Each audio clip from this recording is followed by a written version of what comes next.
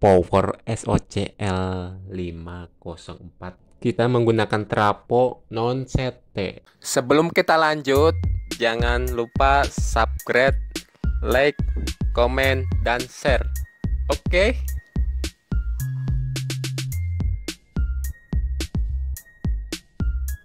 Oke ya, berjumpa lagi dengan Anas Saras. Nah, di sini ada sebuah power amplifier yang belum dirakit ya. Oke. Sebelum kita merakit, kita cek, kita review dulu lah ya bahannya yang digunakan untuk merakit power amplifier. Oke. Nah, teman-teman, kita cek di sini ya. Di sini kita menggunakan trapo ya. Teman-teman bisa lihat sendiri lah ya, kurang lebihnya seperti ini. Dan ini trapo yang akan digunakan. Oke, kita cek traponya. Nah, untuk trapo ya, ini bagian inputnya ya.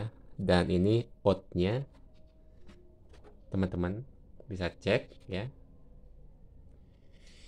Di sini kali ini kita menggunakan trapo non CT trapo engkel atau trapo yang tidak ada CT-nya ya teman-teman bisa cek ya. Untuk traponya kita menggunakan trapo non CT dan berapa ampere? Di sini tidak ada tulisannya ya. Dan untuk bentuknya di sini ya trapo ini sekitaran 3 ampere. Ya. Oke. Cukup ya. Kita lanjut. Nah teman-teman di sini kita menggunakan dioda kiprok ya.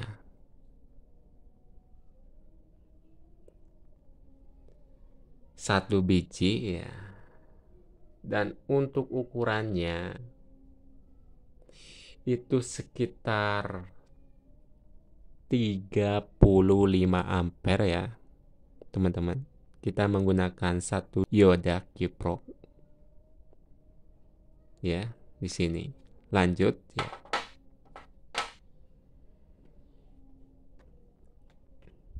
Nah. Ini kita memerlukan dua elko ya sepasang ya. Untuk ukurannya kita cek ya. Nah teman-teman untuk ukurannya 50 volt 10.000 UF ya.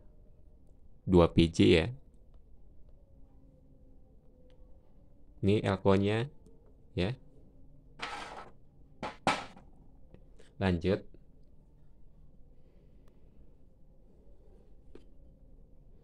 Nah teman-teman untuk powernya kita menggunakan power SOCL 504 ya. Ini. Di sini menggunakan satu set transistor Toshiba ya sudah terpasang dengan hashtingnya teman-teman bisa lihat sendiri lah ya. Di sini kita menggunakan satu buah power ya.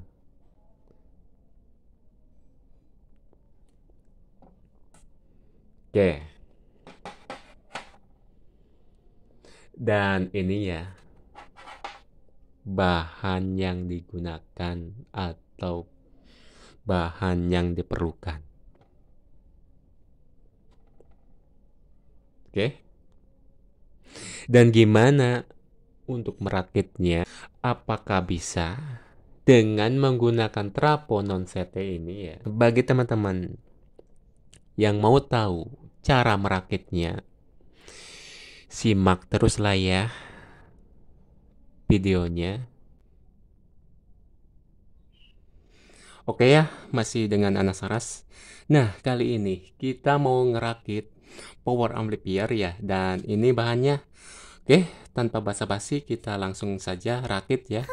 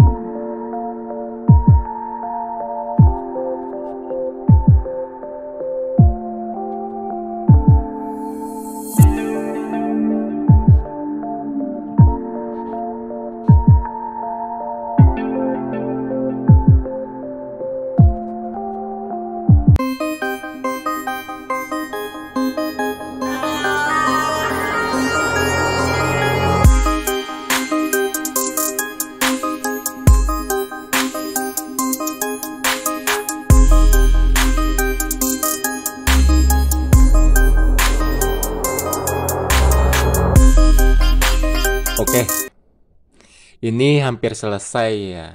Untuk rakitannya kurang lebihnya seperti ini. Teman-teman bisa cek lah ya kurang lebihnya. Tanpa basa-basi, kita langsung aja tes ya power ini. Dan untuk speakernya ini sudah terpasang ya teman-teman. Terus ini ini input audionya sudah terpasang, kita cek di sini ya. Coba. Nah, sudah oke ya. Kita coba kasih musik.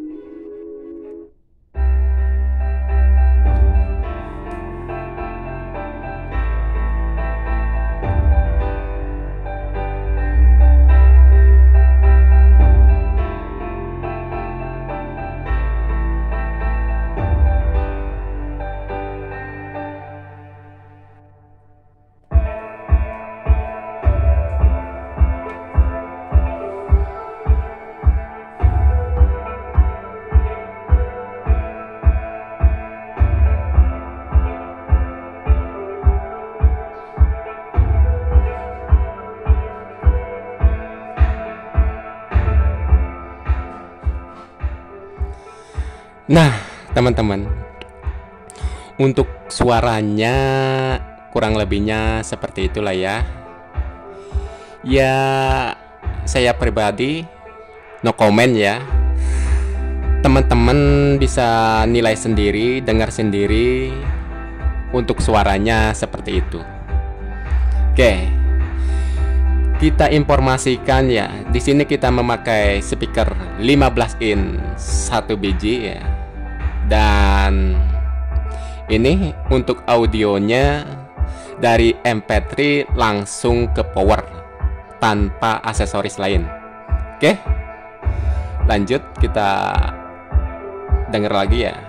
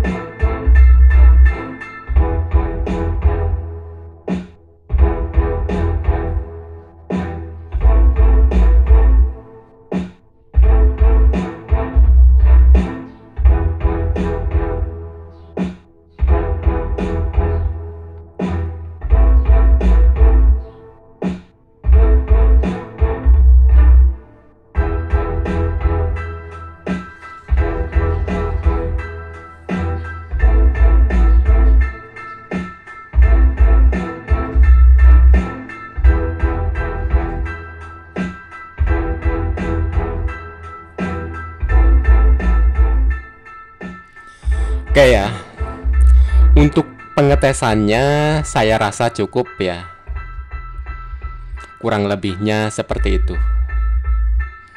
Oke, itu aja videonya dan sampai jumpa lagi di video yang akan datang.